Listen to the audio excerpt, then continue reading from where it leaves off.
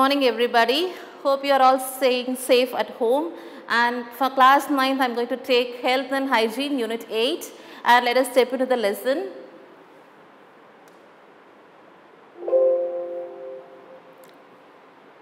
Okay, as we all know, food is the basic need for life.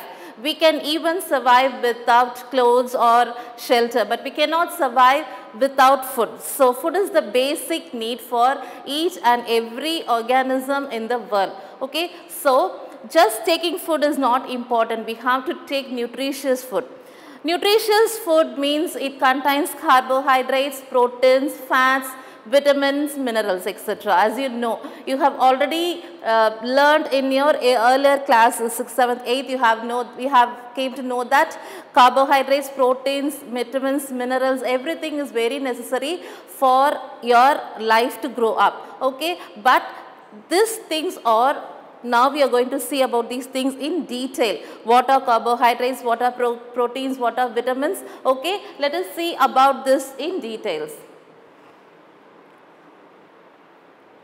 So, classes of nutrients. What, is, what I mean is nutritious food contains these things. Okay, carbohydrates, proteins, fats, vitamins, minerals and mainly water. Okay, carbohydrates.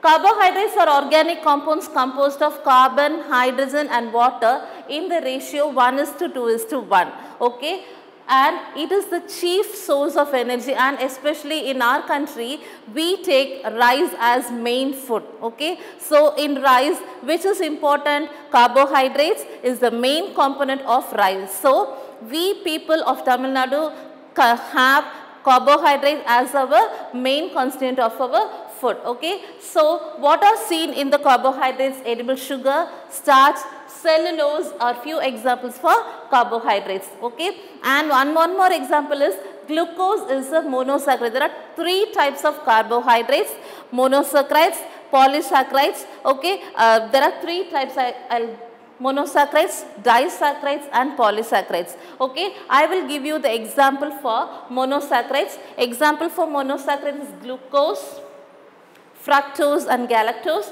Example for disaccharide is sucrose, lactose and maltose.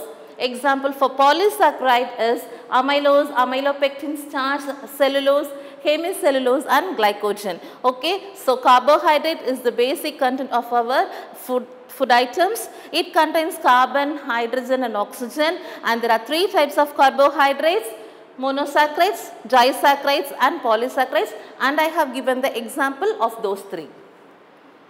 And sucrose is found in honey. Okay, let me explain where we get these things. Okay, sucrose is found in honey, sugar cane and fruits. Starch, starch is found in rice, potatoes and bread and glycogen stored in our liver and muscles. Plant cell wall is made up of cellulose and other complex organic compounds. Okay, These things are sucrose, glucose, glycogen are seen in these kinds of uh, materials. And next one we are going to see is protein. Protein is the essential nutrients for the human body. Okay, it is very important for our human body than carbohydrates. Okay, they are the building blocks of our body tissues okay? Very important building blocks of our body tissues are proteins and also serve as a fuel for our metabolism. As a fuel protein provide maximum energy than carbohydrates and fats okay? Carbohydrates can provide only 4 calories per gram and lipids can provide 9 calories okay? Protein lipids can provide 9 calories per gram. The important aspect in defining characters of protein from a nutritional standpoint is its amino acids composition. Proteins are composed of amino acids and it is the basic thing of protein okay? It forms a nutritional standpoint in our metabolism. Proteins are polypeptide chain Okay, proteins are made up of polypeptide chains as carbohydrates are made up of carbon, hydrogen and oxygen. No. So, likewise protein is made up of a polypeptide chain and it, it consists of amino acids together. Okay, during the process of digestion, proteins are broken down into the stomach. In the process of digestion, proteins uh, plays a vital role in our body. Okay, it helps in improvising the digestion process and small intestine to smaller polypeptide by the action of proteases. Proteases is an enzyme which induces the proteins to uh, develop the digestion process. Okay, This is crucial for the absorption of the essential amino acids. In this process, the amino acids are absorbed in our body uh, that can be biosynthesized by our body. So, protein is the building block of our body and it contains polypeptide chain and amino acids. They gives us more energy than the carbohydrates. Okay, 9 calories per gram. They are giving uh, energy to our body. They help mainly in our digestion process and this proteases gives a uh, improved metabolic activity in our body. There are nine essential amino acids. As we have seen before, the protein consists of amino acids. What are the amino acids which is eh, inside the protein? There are nine types of amino acids. They are phenylalanine, valine, threonine, tryptophan, methionine, leucine, isoleucine, lysine and histidine. Okay. These are the 9 amino acids present in the protein. Next one we are going to see is fats. Fats are also known as triglycerides which are esters of the free fatty acids, chains and glycerol. Fat is an important foodstuffs for forms of life and serve both in structural and metabolic functions. Okay, Not only carbohydrates and proteins are essential, fat is also, I mean good fat is also essential for our growth. Okay uh, part of the diet in most heterotrophs. What are heterotrophs means? Uh, we, we, uh, we depend, heterotrophs depends upon other organisms for their food. Autotrophs means they prepare their own food, okay. Plants are autotrophs and heterotrophs are animals and human beings, okay. Lipases are the enzymes involved in the breakdown of fats in the small intestine during the process of digestion. As the proteins do, the fats also uh, play a vital role in the digestion process and in the protein system uh, proteases is an enzyme which involved in the digestion process. Here lipases are the enzymes which are involved in the digestion process. And next one is vitamins. What are vitamins? We all know about vitamins. Vitamins are very important uh, uh, need for our body. Vitamins are the vital nutrients required in the minute amounts to perform special functions to maintain a healthy body.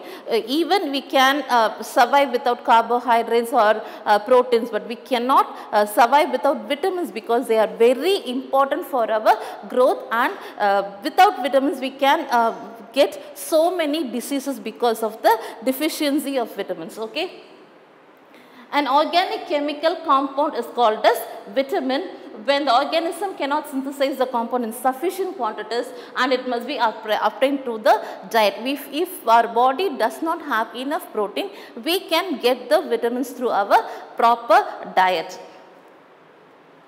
and mineral nutrients. In the context of nutrition, mineral is the chemical element required as an essential nutrition by the organism to perform various functions necessary for life. Minerals originate in the earth, okay. We cannot get the minerals from the food, uh, food things or, or anything, okay. We, we get the minerals from earth and they are the constituent of teeth, bones, tissues, blood, muscles and nerve cells, okay. Minerals also, okay, what are the minerals? Iron, calcium. Likewise, these types of minerals are needed by our body. Okay, then only the, our body will uh, form a proper uh, diet. The five major minerals which our human body needed are phosphorus, calcium, potassium, sodium and magnesium. And some traces of minerals are also needed. They are sulfur, iron, chlorine, cobalt, copper, zinc, manganese, molybdenum, iodine and selenium. Okay, these are the trace elements okay, which our body requires. Okay, next the main thing is water. Without water, we cannot uh, survive in the uh, earth. Okay. So, our body also requires much amount of water. The more we drink water, the more we, the more the, the healthier we survive. Water is a vital as a solvent in which many of the body solutes dissolve and also an essential part of the metabolic process. Okay. Within the body metabolism include two processes. In the metabolism there are two types of processes anabolism and catabolism. In anabolism water is removed to form huge molecules, larger molecules. In catabolism water is used to break the bonds in order to generate smaller molecules. Example glucose, fatty acids, amino acids to be used as fuels for energy use or other purpose. Without water, these particular metabolic process could not be exist, okay, could not exist, okay. This is the main part of water and without water, we cannot survive, we all know that. So, so far we have seen about carbohydrates, proteins, fats, minerals, um, amino acids, etc. and water, okay. Uh, hope without these okay? What will happen if these things are deficient in our immune system okay? Let us see in the next class about what are the uh, deficiency symptoms of these things okay? Thank you so far we have seen about the, this lesson health and hygiene. Hope you understand the lesson. And if you have any doubt feel free to ask me. And in the end of the session i will be giving you some questions and answers. Please try to answer this. Thank you